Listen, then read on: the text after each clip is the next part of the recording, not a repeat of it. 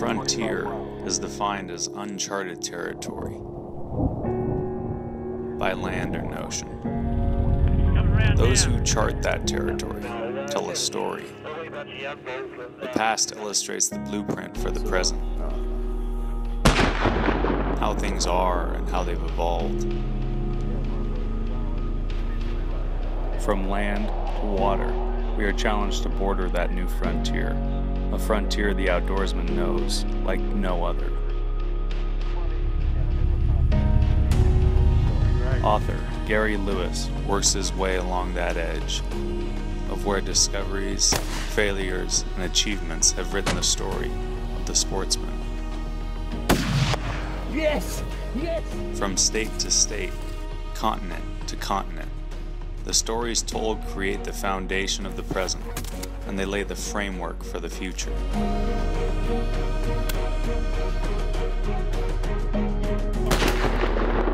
Through the muzzle fire and on the stone are stories from the edge. Water is the most important thing as far as Indians are concerned. That's that's life. The past is written, the present is here, and this is Frontier Unlimited.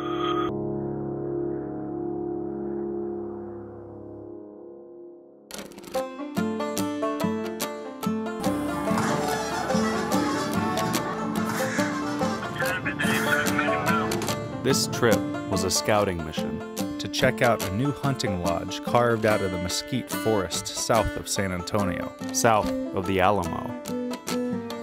Jeff Griffith is building a bow hunting only operation for hunters who chase deer have Yeah, this your is it. destination. This is it.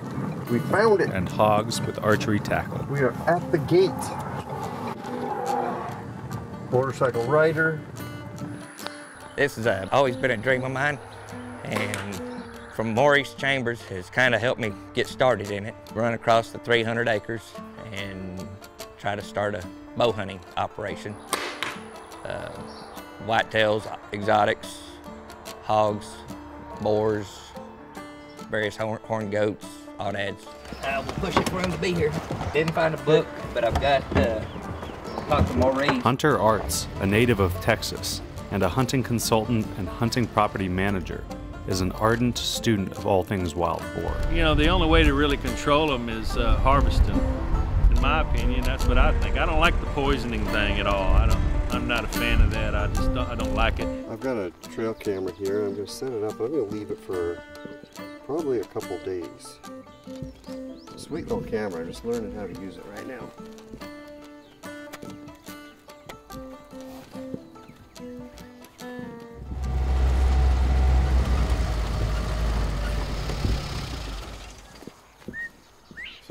Climb in here? Yep.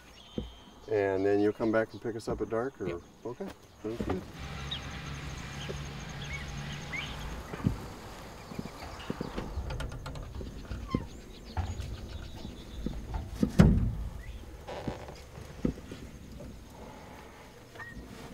This is all right.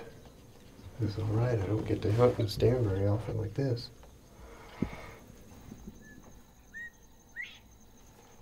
Okay, there's something coming out. Right there, right there.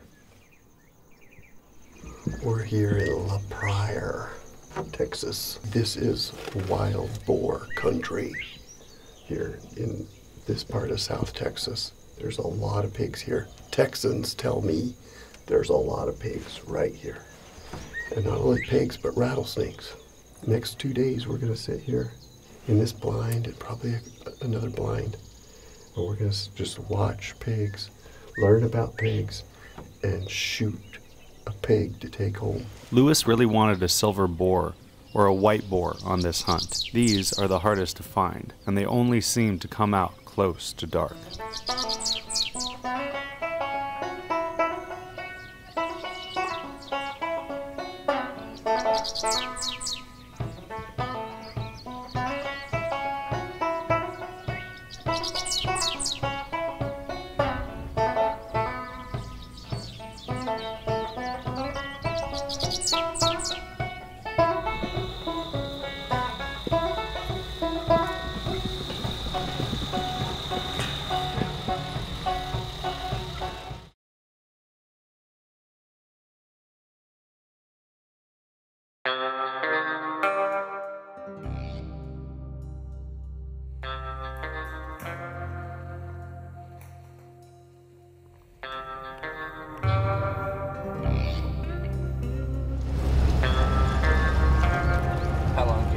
it, go on me. Eh? Yeah, I'll text you. Okay.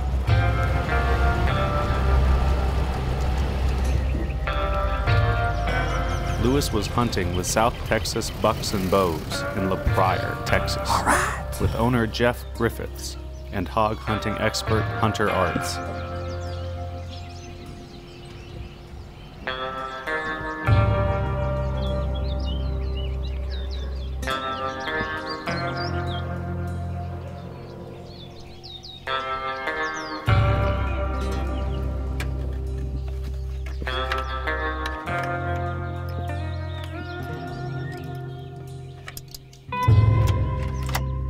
Lewis is using a Montana rifle, chambered in 6.5 Creedmoor and topped with a Burris scope.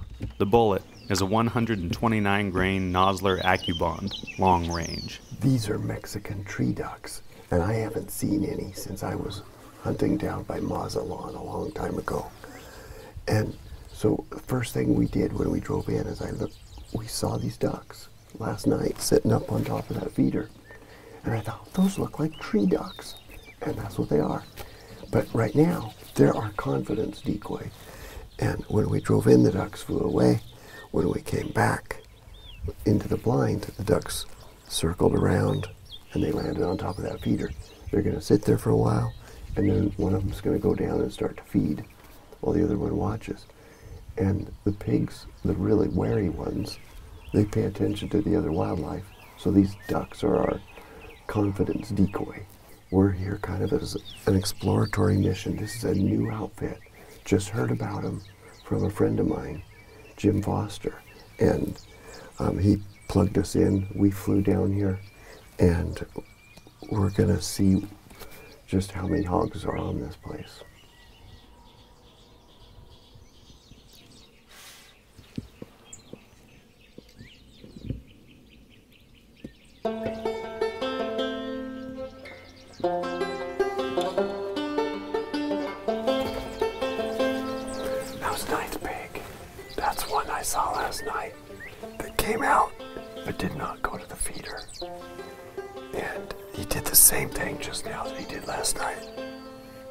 Went over to the water. So let's see what happens next.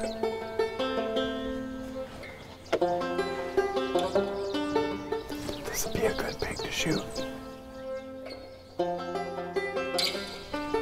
He's a young boar. He's all by himself. And um, he'd be good meat. He'd be good eating.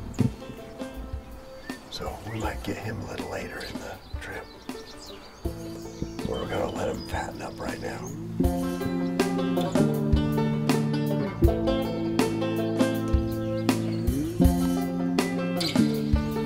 This is the shot I'm hoping for right here. Broadside with a big boar.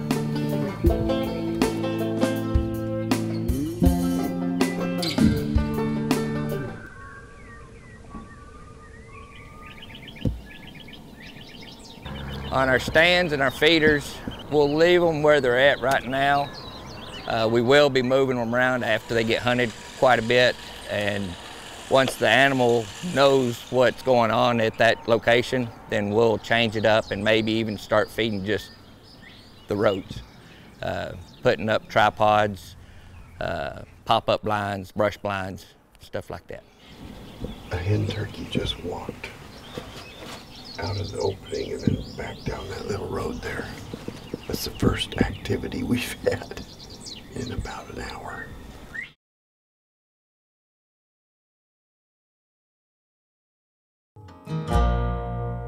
Lewis was hunting with South Texas Bucks and Bows in La Pryor, Texas, with owner Jeff Griffiths and hog hunting expert Hunter Arts.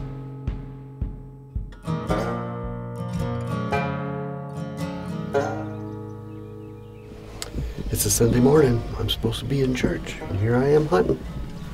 So we're not going back to the lodge with a pig. We're going back for breakfast, and then we'll come back out here. Probably won't get one till after the sun goes down.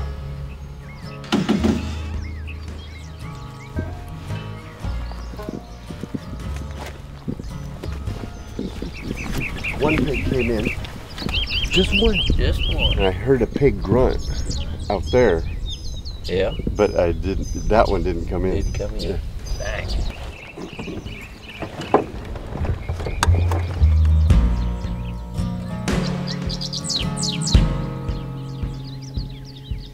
Lewis checked the trail camera every morning and was astonished how many times the white pigs showed up after dark, but never came out during daylight hours.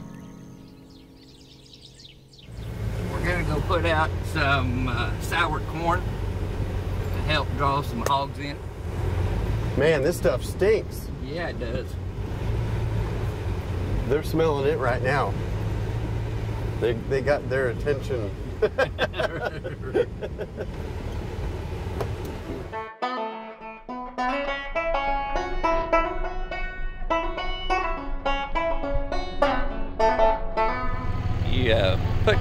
corn in a 55 gallon drum and put water in it to sour it, get the smell to attract the hogs in.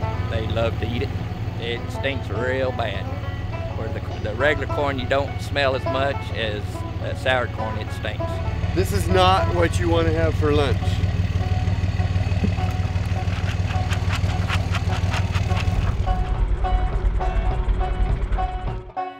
Hunter Arts has studied wild boars for his whole life and admires the animal, both for its sporting quality and its table fare.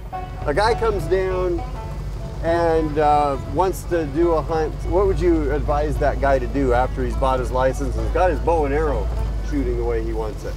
Well, the first thing is he needs to get with the guide and go look at where he's going to be hunting so the guide can give him some pointers of where the hogs are moving or where all the water sources are Yeah.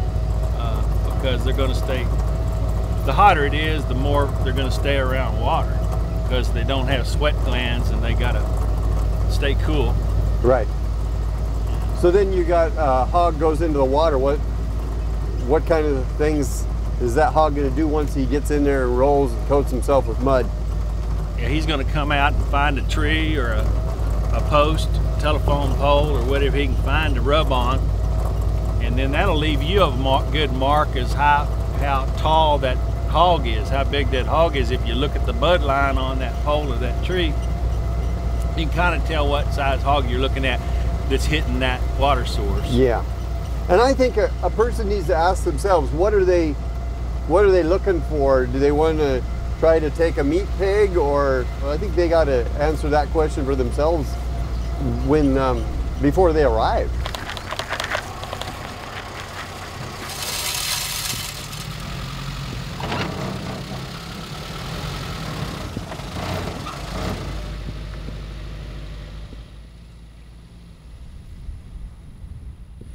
This is a pretty good setup.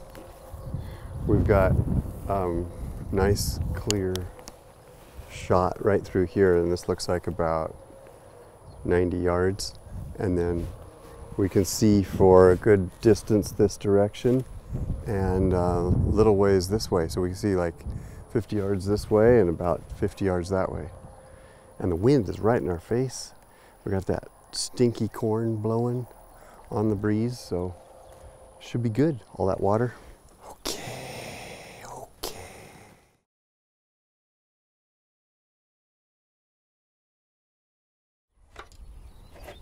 By the end of day two, it was time where Lewis felt he had to shoot something, or risk going home empty handed.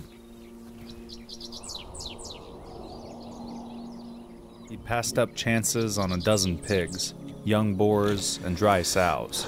Those are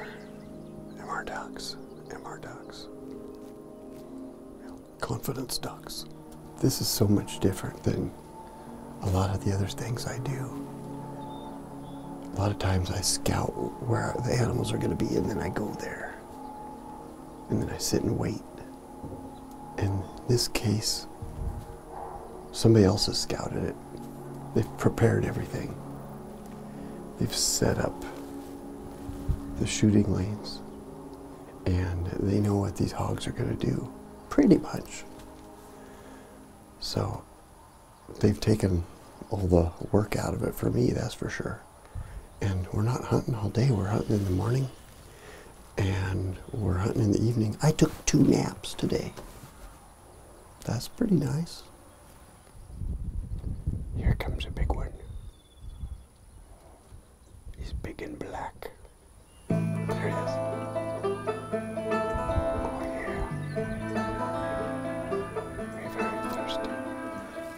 There's another one back there, right at the fence corner. Just sit, just standing there. That's a nice big female. She's been in the water. She got all cooled down. She's having a good day right now. Okay, we got a shooter here, maybe. With that many females there, there's a good chance we'll have a boar soon. There's got to be a boar hanging around. If I was going to take one of these, and I might, I would take the one on the left because it doesn't have any babies, and so eh, you can you can tell that's the one. That's the first one we saw. It came in without piglets, and it's it's by itself. She must have smelled us.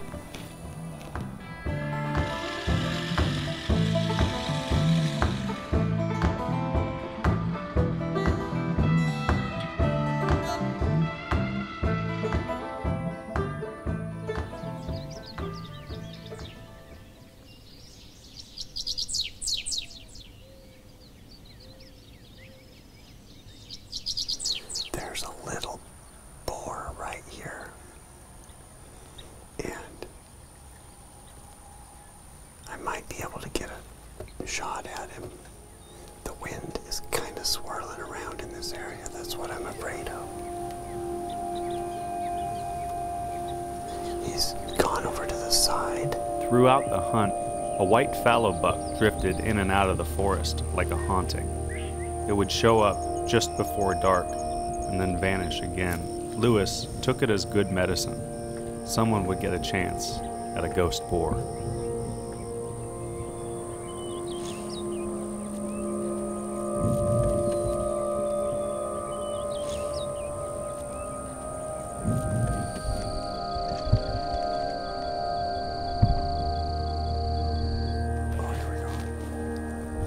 Passel of piglets and three adults appeared out of the mesquite. One was an eligible candidate. Lewis waited until the black one was broadside, with no other animals around it. Twenty yards, no more.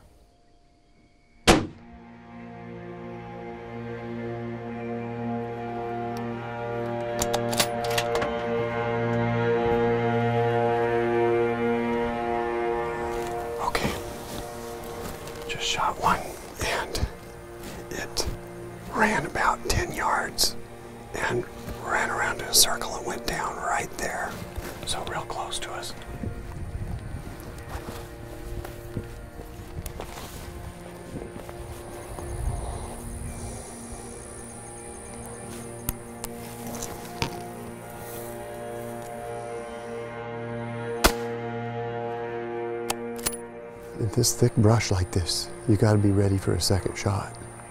And this pig started to get up, so I shot it again. Because you want it, you want it down. You don't want to have to go tracking through this thick stuff with all these rattlesnakes. Okay, that's a nice meat pig. That's exactly what we came for. Exactly what we want right there.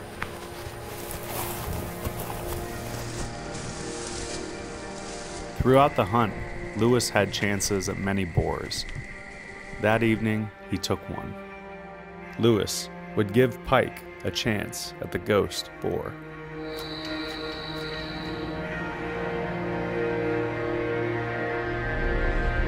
Returning to the same blind, Lewis had harvested his boar the night prior.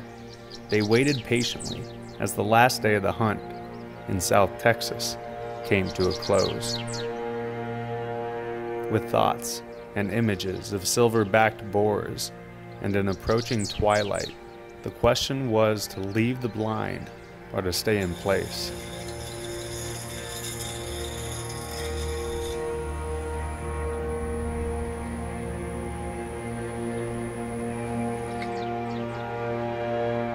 With less than an hour left in the hunt, with the sun going down, Lewis and Sam left the blind and looked down the narrow corridor overhung with mesquite and oaks.